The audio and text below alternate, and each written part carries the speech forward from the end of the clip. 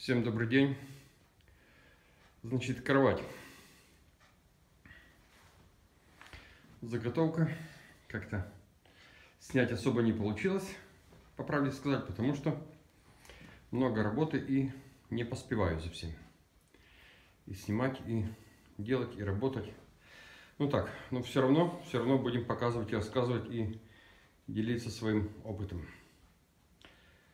Будем делиться, конечно. Так, смотрите, что у меня есть. Есть, значит, у меня вот такая кровать. Да, в заготовках. И сейчас мне нужно э, рейку, рейку, вот наверх сделать вот так. Что имеется в виду? Что имеется в виду? Короче, нужно вот такую рейку сюда наверх. Это будет наверх. Это понятно, да?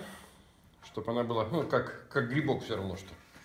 Потому что вот, вот так же сверху не будет. Ну, можно и так оставить, но мне кажется, что более правильно это будет сюда рейка. То есть будет вид какой-то более такой завершенный. Так, значит, что я буду делать с этой рейкой? Как ее буду сюда вот, сажать? Э, так как у меня есть домино фрезер, значит будем сажать на доминошки. На доминошки, на пятерочку. Пятерочка, где ты? Где ты? Вот и пятерочка наша. Так. Конечно же, самодельные. По этому поводу я показывал и рассказывал. Значит, нужно вот так мне их на рейке сделать фрезеровку под эти доминошки, соответственно, фрезером. И с этой стороны. Проблема. Значит, когда есть проблема, есть ее решение. Есть проблема, будем ее успешно решать. Не просто такая, успешно решать. Это понятно. Здесь я выставляю глубину. Выставляю, например, там, как на 40. Немножко выше. Фрезерую. Все хорошо. Проблем нет никаких. Так, но что делать вот здесь? Почему? Потому что перепад видно, да? Здесь я выставлю, например, скажем, посередине, то понятно. А здесь как? Вот. Если я просто сделаю вот здесь, э, скажем, фрезеровки, а здесь по краю не сделаю, будет тоже немножко неправильно. Почему? Потому что при переноске или еще что-нибудь, когда вот рейка будет... Вот, например, как здесь. Будет только вот на этой доминошке, а с краю не будет, мне кажется, это будет неправильно. С краю тоже должно быть. Как я уже говорил, потому что кто-то возьмет, случайно так, хорошо дернет, и всякое может быть, чтобы она не оторвалась. Короче, нужно сделать усиление, нужно сделать вот здесь, чтобы было доминошка. По моему понятию.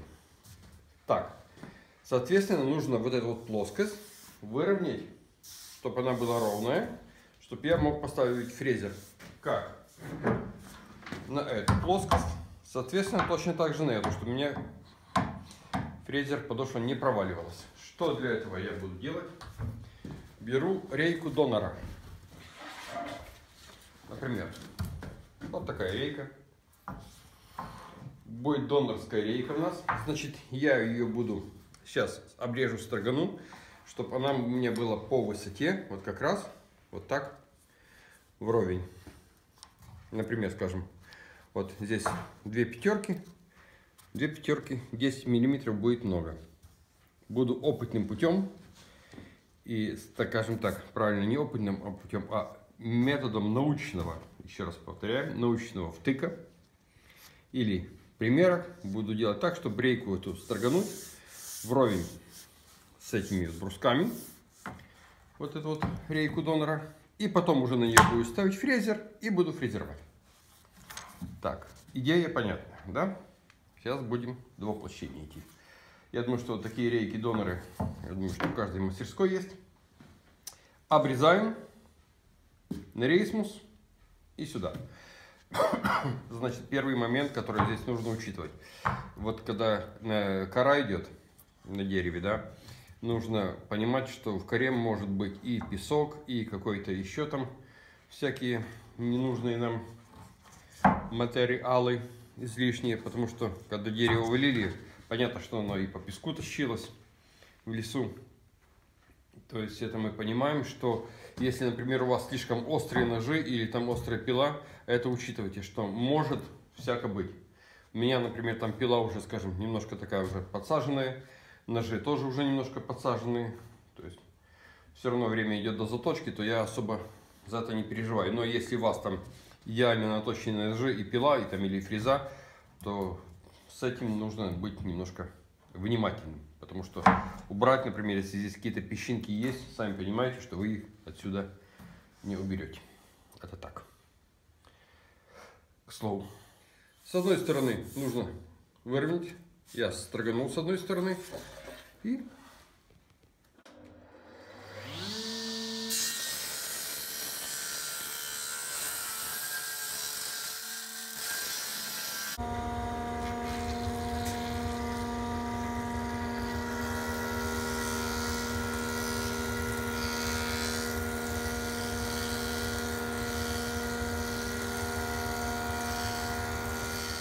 Так,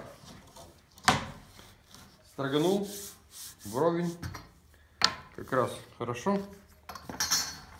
Все, и сейчас уже хорошо будет фрезер у меня стоять. Вот, как здесь, так здесь, так здесь, все нормально. Ну что, сейчас фрезерну уже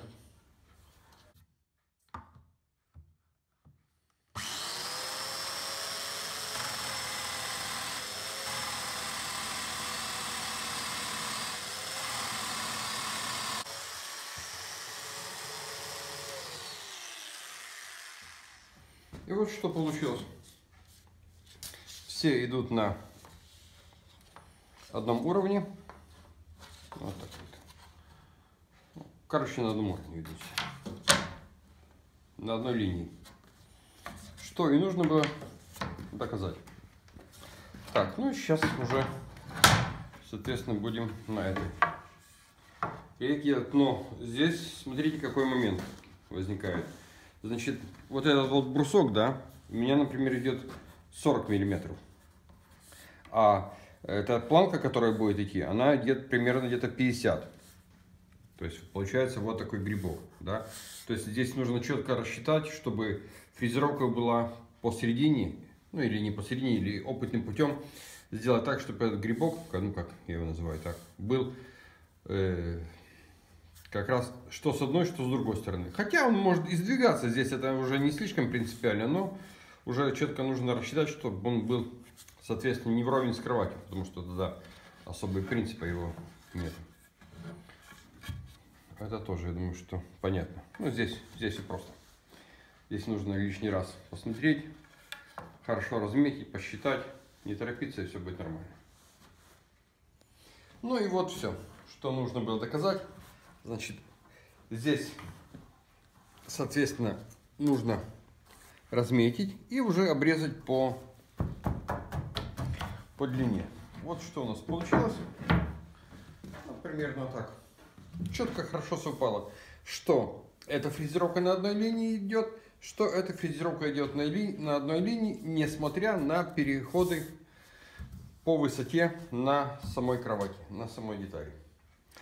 Так, ну, не знаю, популярно объяснил, вроде объяснил. Понятно, ну, не знаю. Если что-то непонятно, то пишите, звоните, будем дальше объяснять. Ну, насколько смог, настолько объяснил. Хотя я говорю, я же не учитель, а только так, что знаю, то и рассказываю. Понятно, да? Кому понятно, хорошо, кому непонятно, будем дальше объяснять.